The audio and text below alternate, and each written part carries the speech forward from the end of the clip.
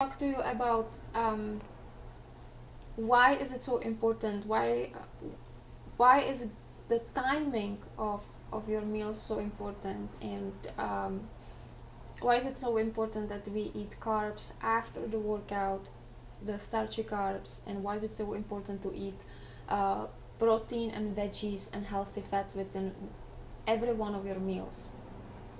So first of all um, protein gets longer time takes longer time to digest protein. So it's easier on your digest system actually you know? And it keeps you um, satisfied longer. It keeps you full longer.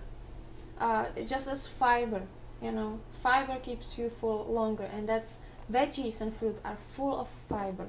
So you get to eat food that it's full of nutrients and it's low in calories and that's what's gonna keep your um, weight in check. That's how you can get healthy on on a healthy weight you know? So if you eat so simple sugars like cookie cookies have a cookie jar but if you eat those you know you have to remember that your body absorbs it really fast.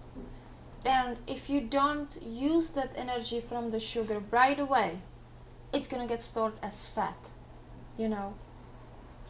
So that that's why it's important to exercise and also earn the carbs earn the sugars with your workout. Because after the workout you boosted your metabolism your body is like this this uh, fat burning furnace. Then you can enjoy your cookie. Then you can enjoy your uh, your carbs your starchy carbs.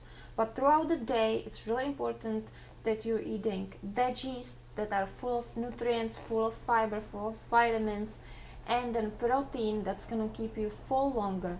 These things, when you eat like simple sugars like that, that makes you just hungry all the time. You know, that doesn't fill you up. I can eat 30 of those. I will be still hungry. So, healthy fats are super important in your diet. Healthy fats from nuts, from avocado, from olive oil. Super important. Obviously, you cannot go overboard with, with healthy fats, but they should be in your diet because you know it helps you with digestion. It keeps you satisfied as well. It keeps you full longer, and uh, they're so good for uh, inflammation. You know, inflammation is really bad for you, and the good fats, like for example in nuts, help help with that. You know and inflammation is one of the one of the causes of, of obesity you know. So healthy fats are super super important.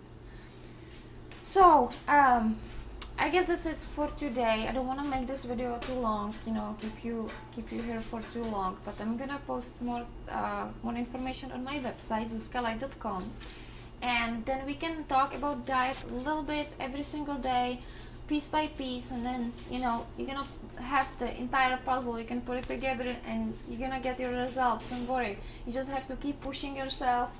Uh, this program is gonna keep you on track and uh, I'm gonna do my best to give you the best advice I can for, for your diet strategies.